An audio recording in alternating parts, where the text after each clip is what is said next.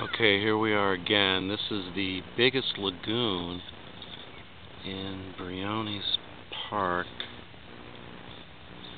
And uh, as you can see, JD stay.